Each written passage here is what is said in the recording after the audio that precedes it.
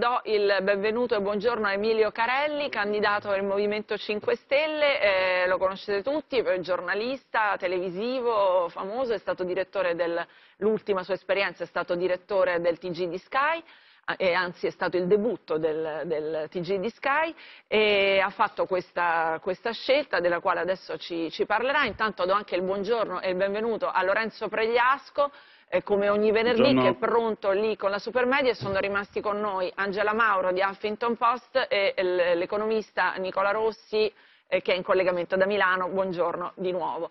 Allora, eh, Carelli, eh, vengo da lei. Intanto sulla scelta eh, personale, che cosa aveva votato fino adesso e come se sia una domanda che si può fare?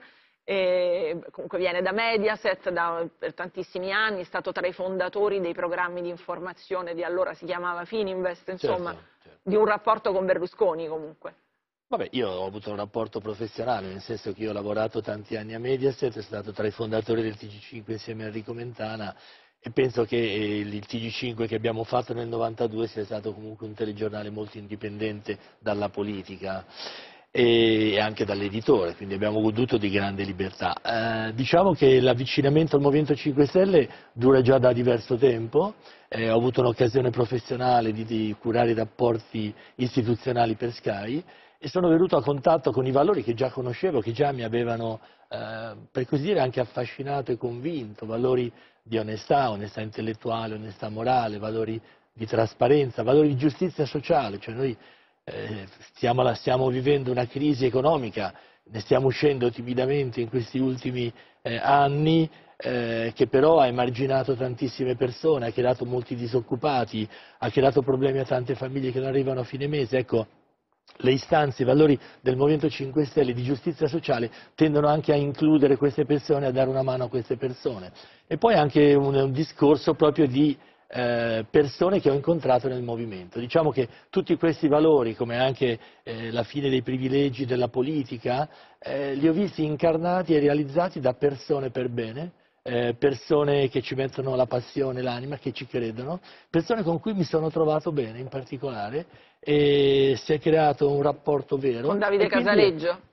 Con Davide Casaleggio e con Luigi Di Maio e con tanti altri, Alessandro Di Battista e, e poi veramente tanti militanti. Io anche, tra l'altro in questi giorni di campagna elettorale, tutti i giorni vado nel mio collegio a incontrare la gente e ho scoperto una realtà che non conoscevo, cioè una partecipazione, quindi anche il valore della democrazia partecipata, una partecipazione, persone che stanno la sera 3-4 Ma... ore a discutere dei problemi del loro quartiere, del loro collegio e a cercare insieme una soluzione quindi è questo, questo lato del, del, movimento, ma eh, poi credo che Angela Mauro abbia delle domande, ma eh, non c'è un tema di, eh, dire, di, scarsa trasparenza da un lato eh, del movimento, una figura appunto di Davide Casaleggio, dei rapporti della piattaforma eh, Rousseau che per statuto del, del, Movimento 5 Stelle è diciamo, plenipotenziaria di tutte le attività sulla rete, e però senza che ci sia un, un ruolo specifico. Cioè questo tema di mancanza di democrazia interna, eh, così lei non, non tu, tu, do del tu perché cioè, rimane, rimane se no sembra una finzione ai colleghi come con certo. altri ex colleghi. Eh, non, non, è una cosa che ti, io, che ti crea io, problemi. Io anche il rapporto dire, con la stampa vivendo stesso. in quest'ultimo anno, anche eh, partecipando a riunioni e incontri, ho riscontrato esattamente il contrario. Innanzitutto c'è un capo politico del movimento che è Luigi Di Maio e quindi le decisioni politiche e strategiche le prende lui. Ma chi è Davide cioè, Casaleggio? Davide Casaleggio gestisce una società che gestisce il blog delle stelle, che è il blog che diciamo così, è la piattaforma su cui vengono affrontati e trattati tutti i problemi e i programmi del movimento, è anche una piattaforma di democrazia diretta, quindi è una piattaforma che serve poi a tutti i, eh, i partecipanti, gli aderenti al movimento, serve per esprimere e il loro te parere, non ha, non ha voto. problemi di opacità? Per esempio, di... ah, per esempio è servita tantissimo durante i mesi scorsi, durante l'estate, per la creazione del programma. Il programma, i 20 punti del programma per migliorare la qualità della vita degli italiani è stato elaborato attraverso tutta una serie di forse un po' meno con le parlamentari. Perché, è un, um, uno strumento di democrazia diretta, io non sono molto convinta che sia questo, lo, lo dico ogni volta che vado in tv, comunque mh, non trova strano il fatto che ancora non si sappiano i dati delle famose parlamentari. No, sono cioè, usciti i dati delle Sono usciti, ma ci sono, sono, cioè, ci sono voluti due settimane di tempo, ci sono state tante polemiche proprio nella base dei 5 Stelle. E a proposito anche dell'atteggiamento della base del dibattito interno che c'è, che si vede anche dai social, ecco, siccome lei parlava del capo politico Di Maio, abbiamo di fronte movimento che prima diceva l'Europa no, addirittura ipotizzava un referendum sull'euro, adesso Di Maio va alla Link University e dice l'Europa è la casa nostra, è, è casa nostra, è casa anche per il Movimento 5 Stelle. Era nato come movimento tutto fondato su ambientalismo, scelte di energia, fonti di energia rinnovabile, eccetera di nuovo Di Maio alla Link University, ma non solo lì, l'ENI è, insomma, l'abbiamo deciso, le nostre scelte strategiche, ha detto un giorno in tema di energia, d'accordo, abbiamo discusso con Eni e Enel, ha difeso la presenza di Eni in Libia dicendo lì c'è un interesse geostrategico, ecco, c'è una torsione, mi consente il termine, un po' democristiana, diciamo, del leader dei 5 Stelle rispetto a un movimento che era nato, almeno alle origini, era antisistema ed è come se Di Maio faccia una parte, questa parte di calmare un po', di ingraziarsi un po' le elite, Di Battista fa la parte della Ora poi lo sentiamo di Battista. Sì, sì, sì. Secondo no. lei, da quello che vede dal di dentro, se mai andaste al governo che cosa dobbiamo aspettarci? Perché a questo punto non è chiaro il messaggio politico che vogliono dare. No, allora, eh, il problema di democrazia interna, io penso Anzi, io sono molto contento che sono passate due settimane dal momento delle parlamentari al momento della pubblicazione dei risultati con tutti i numeri, perché questa è stata una tutela per tutti noi candidati. Cosa è successo? Che il Movimento questa volta, per la prima volta, ha voluto verificare uno per uno tutti i candidati, escludendo tutte quelle persone che in qualche modo in, nel passato avevano dimostrato, per esempio, di aver pubblicato dei post violenti che incitavano all'odio razziale, che incitavano o difendevano la violenza contro le donne. Cioè, cito solo per alcuni esempi.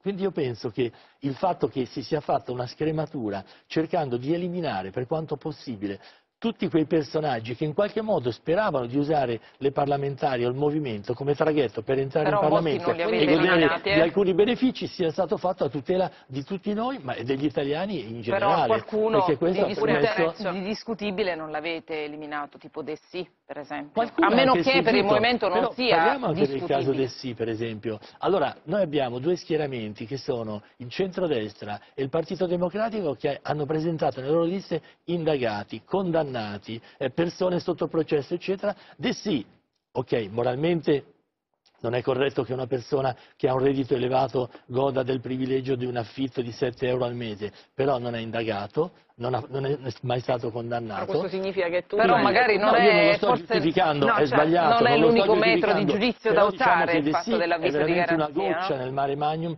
della corruzione e dei personaggi politici che sono in qualche modo coinvolti in inchieste giudiziarie. Io volevo chiederle questo prima di eh, passare a, agli altri temi. No, sul, volevo... sul, governo, prego. Eh, no, no, prego, prego, eh, prego. Quindi sul discorso della democrazia interna io trovo che sia stato no, un modo per su, cautelare. sulla posizione di Davide Casaleggio, esatto. se per questo che non è stato esatto. eletto come gli chiese sì. il giornalista dell'Avanguardia, no, da nessuno, Davide Casaleggio è, è, è il, titolare di una società sì, che gestisce... Lei può dire che non ha voce in capitolo nelle decisioni del partito? Le decisioni politiche non no, mi risulta che abbia voce in capitolo. Noi abbiamo Questo ne prendiamo atto politico, perché è la prima volta che qualcuno dice non ha cioè lei può dire che non ha voce in capitolo politica, sulle decisioni no. di linea politica, linea politica né sulle il capo politico che le sceglie e il garante che è Beppe Grillo. Sono e, loro due, e io Davide Casaleggio non ha voce in capitolo. Vabbè. per quanto riguarda la linea politica. La linea politica e le scelte di, di selezione di classe Grillo veramente ha fatto un passo indietro, però magari ne parliamo dopo, dopo. Pregliassi. Eh, dunque, no, sul governo, prego, doveva finire no, la risposta. Sul governo io penso che qualsiasi movimento di rottura, ma proprio se andiamo a vedere anche la storia, la storia uh, dell'Europa, qualsiasi movimento di rottura passa da un momento di grande protesta, di insofferenza, eh, che poi noi abbiamo chiamato, è stato chiamato il momento del vaffa, a un momento poi costruttivo, cioè se vogliamo cambiare le cose, se vogliamo eh, modificare tutto quello che, che, è successo in Italia in questi anni, se vogliamo veramente portare fuori questo Paese da una crisi che ormai dura da 20-25 anni e che la classe politica che abbiamo avuto finora non è mai riuscita a fare, dobbiamo naturalmente proporre un programma che sia volto, anche costruttivo. Di Maio è il e voto quindi... costruttivo, mettiamola così. Esatto, del, dobbiamo proporre un programma del, costruttivo, del... come lo è Io volevo chiedere, allora, intanto la supermedia a Lorenzo Pregliasco e poi andare dal professor Rossi per la questione delle, delle coperture, quello che lamentava Di Battista, non l'ha visto Emilio Carelli o forse l'ha visto di là nel monitor, eh, a, a, noi si chiedono le coperture, agli altri no, veramente qui le chiediamo a tutti, eh, mi sembra anche tutti i giornali, però senz'altro le chiediamo poi a Rossi quelle del reddito di cittadinanza. Eh, Lorenzo, la supermedia. Sì, buongiorno a tutti innanzitutto, supermedia di, di questa settimana eh, di Utrend per l'agenzia AGI. Eh, vediamo con il cartello 1 qual è la situazione nelle eh, intenzioni di voto lista per lista nelle ultime due settimane. Il Movimento 5 Stelle eh, rimane primo partito, 27,8% nella nostra supermedia, c'è un, eh, una lieve flessione nell'ultimo eh, mese, ma il Movimento 5 Stelle è stato forse il partito più stabile di tutti eh, già dal, dal, 2017. Partito Democratico 23,1, ancora un lieve calo e siamo sui valori eh, minimi per il PD da, dalla sua, dalla sua nascita. Forza Italia 16,4, qui c'è un uh, lieve aumento nell'ultimo mese, che va però un po' a danno della Lega, uh, Lega con Salvini, 13,1, meno 0,3. Qui va segnalato che diciamo, fatti, gli ultimi fatti eh. post Macerata non rientrano ancora nelle rilevazioni degli istituti. Eh, liberi uguali grasso 6,1, qui c'è una flessione, devo dire Alessandra, eh, i trend degli ultimi giorni non sembrano positivissimi per, per liberi, liberi uguali. uguali. Fratelli d'Italia della Meloni 4,7, anche qui c'è un po' una, una flessione nell'ultimo mese, e poi insomma gli altri di centrosinistra e centrodestra, al momento nessuno, eh, nessuna delle altre liste sembra stabilmente sopra il 3%. Possiamo forse vedere eh, il cartello 2 che ci restituisce il quadro delle coalizioni eh, o aree diciamo, principali.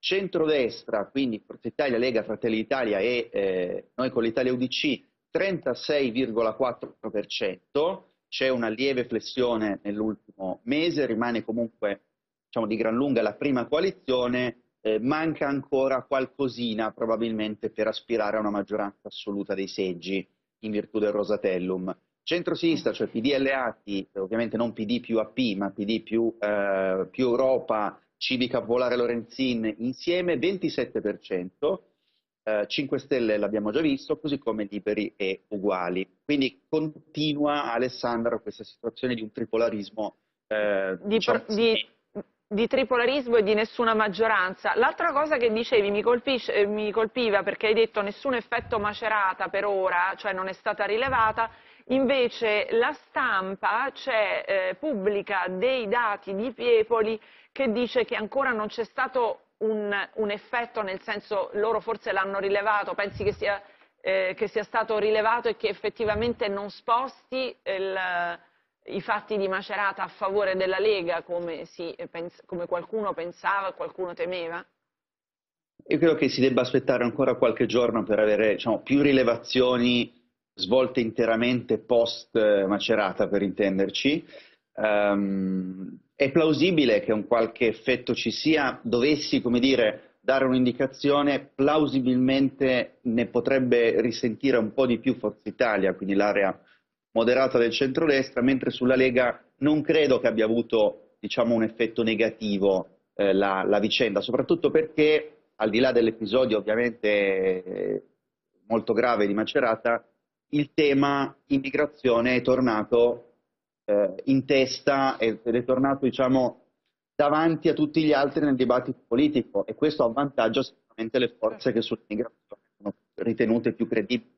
Chiaro. Eh, Emilio Carelli, a Di Maio e 5 Stelle, prima eh, sia nel, diciamo, è quello che viene riproverato da tutti gli avversari politici, sui, sul caso Macerato c'è stato molto eh, silenzio, il silenzio di Di Maio, adesso le, lo lasciava in eredità questa domanda anche Stefano Fassina per, per voi, eh, un atteggiamento, mentre è un dibattito molto sentito, sono dei fatti molto gravi, ci sono la questione delle manifestazioni, il Movimento 5 Stelle non ha detto praticamente nulla. Perché? Ma, diciamo, non è che non ha detto nulla perché poi c'è stata una presa di posizione, sicuramente il movimento condanna eh, questo atto che è un atto di, di odio razziale eh, palese, quindi non è che c'è bisogno. Poi tutti i discorsi eh, polemiche all'interno dei movimenti de, del, del PD, liberi uguali, eccetera, sono temi che non ci interessano, ci interessano i problemi della gente. Il problema dell'immigrazione è un problema gravissimo. No, il problema dell'immigrazione però, d'accordo, eh, però il problema è dentro, dentro... Cioè, il modo in cui è stata affrontata, secondo noi è il modo in cui è stata affrontata l'immigrazione in questi anni che è un modo sbagliato un modo che penalizza l'Italia, perché costringe l'Italia attraverso il regolamento di Dublino, che è vero che è stato modificato recentemente, ma di fatto costringe l'Italia ad accogliere tutti i migranti e poi di fatto restano qui un anno, due, tre anni, e non sappiamo gestirli, ha creato un business di cooperative vere o finte. Qual è la proposta? Qual la, è la proposta, proposta nostra né è che, né... fermo restando il principio dell'accoglienza per chi ha diritto all'asilo politico, fermo restando questo, perché questo è un principio sacrosanto, ok, allora fermo restando questo, ci deve essere un coinvolgimento di tutta l'Europa in questo problema dell'immigrazione. Quindi la responsabilità, sì, però tutti lo dicono ma nessuno lo fa. Eh. Vuol dire che, che allora questi immigrati appena arrivati nel giro di qualche settimana devono essere distribuiti su tutto il territorio europeo e non devono eh, Ma sempre stare qua in dice di no, il problema ce l'avrebbe anche un governo ce lo stanno dicendo, stanno dicendo no, di no. In più, tutti i paesi che si eh. rifiutano, come eh. pa alcuni paesi dell'est hanno dichiarato di rifiutarsi di accogliere, devono avere delle sanzioni. Quindi i contributi europei che arrivano loro abbondanti e generosi per eh, aiutare le loro economie Però fin devono qui essere in qualche modo posizione di, praticamente di, di diverse altre forze politiche senza differenze e non si capisce poi come ottenerla. Eh, però, però io torno al caso Macerata. La differenza è che loro sono stati volevo... al governo e non l'hanno però mai realizzato. Sì, però, però, Hanno firmato un accordo sì, che consentiva a tutti Come pensate di, di realizzarlo? Cioè, quello che non è chiaro, non è chiara proprio la strategia, cioè come arriva, è la stessa cosa che dice Renzi, Renzi aveva parlato di tagliare i fondi europei a quei paesi che dicono no all'accoglienza, però finora evidentemente non ha trovato il modo di fare eh, fronte comune forse con altri stati, voi non, non fate parola, di, strategicamente come arrivate a quel risultato? Sapete che insomma di fronte c'è un muro grande quanto tutta l'Europa. al tavolo con gli altri paesi europei sosterremo questa, questa eh, tesi. Ho capito, ma questo è quello che fanno tutti senza ottenere. Momento, ma cosa, fanno tutti adesso, no, attenzione, fanno tutti adesso, ma negli ultimi vent'anni, quando hanno gestito questo problema, hanno firmato il regolamento ma qual è l'elemento che, che vi darebbe questo. diversa forza politica al tavolo europeo? Qual è la, la, la L'elemento che noi lo imporremo questo, lo chiederemo Altrimenti e se dicono di no? Altrimenti protesteremo contro l'Europa, chiaramente. Eh, sì, però sì, appunto, ripeto, eh, sono le stesse sì, cose che sto dicendo. Come l'Europa è la casa No, io volevo, volevo finire su Macerata e però, chiedere una cosa. La differenza però è questa, che loro sono stati vent'anni al potere e potevano applicare una, una, e non firmare il regolamento di Dublino. E invece l'hanno firmato e il regolamento di Dublino ha, ha fatto sì, sì, che questi migranti no, adesso la Germania anche è notizia di questi giorni la Germania non è più disponibile a rivederlo sta certo, sulle colpe adesso, è sul futuro che è difficile anche noi vogliamo no lo so però è facile dirlo voi non l'avete ancora fatto il problema è come farlo nel momento in cui altri hanno provato. Però io volevo chiedere ancora una cosa sì. sulla manifestazione e voi sareste andati a una manifestazione, era giusto fare una manifestazione antirazzista? Io penso che una manifestazione antirazzista è sempre giusta, però capisco anche le perplessità del sindaco e tutti i problemi di opinione pubblica, per cui capisco anche che ci sono questi problemi. E quindi problemi. se fosse fatta una quindi... manifestazione nazionale a Roma ci andreste? perché no potremmo anche andarci? Dipende poi, allora il problema di queste manifestazioni che vengono spesso strumentalizzate dai partiti, cioè se è un'occasione per strumentalizzare un evento e diventa un'occasione di campagna Veramente elettorale, è chiaro, che, no, è chiaro che no. Non c'entrano niente, nessun partito. Questo, cioè, in questa discussione no, tutti hanno preso posizione. Eh. un'ultimissima cosa, ma veramente di 30 secondi perché purtroppo non abbiamo tempo. Eh, il reddito di cittadinanza, Nicola Rossi, eh, è una misura eh, sostenibile in quei termini, quella cifra, i 17 miliardi famosi di, di costo? È un caso interessante perché il Movimento 5 Stelle ha indicato le coperture. Ora non sto lì a discutere se siano più o meno attendibili, ma la sostanza dei fatti è che per due terzi sono maggiori imposte e per un terzo invece è un taglio di spesa. È una, cosa, una ricetta che abbiamo visto per 40 anni in Italia. Più tasse, più spesa, più debito. Non è che ci ha portato molto lontano. Eh, allora, il reddito di cittadinanza sì. è il cuore del programma 5 Stelle? Beh, diciamo che è uno dei punti qualificanti e comunque non, si, non parliamo, come diceva il professore, di, di, aumento di tasse, ma solamente di una ricollocazione, per esempio, delle tax expenditures, che poi eh, sono le agevolazioni fiscali, che per tasse. i redditi molto alti sono, sempre, sono, sono però, vabbè, si però sono, sono agevolazioni consentite ai redditi più alti, che tra l'altro mettono l'Italia al secondo posto al mondo per agevolazioni fiscali ai redditi più Quello alti. delle agevolazioni, ma la, ri la ricaduta... di giustizia sociale, di riequilibrio di giustizia sociale. Ci dobbiamo fermare, grazie Emilio Carelli, speriamo di riaverlo ospite da noi, grazie agli altri ospiti, naturalmente Angela Mauro, grazie Nicola Rossi e Lorenzo Pregliasco, linea Coffee Break, Andrea Pancani, ci, eh, Omnibus torna domani. Buona giornata a tutti.